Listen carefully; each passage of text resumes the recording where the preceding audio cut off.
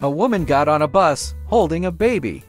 The bus driver said, Damn, that's the ugliest fucking baby I've ever seen. In a huff, the woman slammed her fare into the fare box and took an aisle seat near the rear of the bus. She fumed for a few stops and started getting really worked up. The man seated next to her sensed that she was agitated and asked her what was wrong. The bus driver insulted me.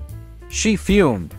The man sympathized and said, Hey, He's a public servant and he shouldn't say things to insult the passengers. She said, You're right. I think I'll go back up there and give him a piece of my mind. That's a good idea.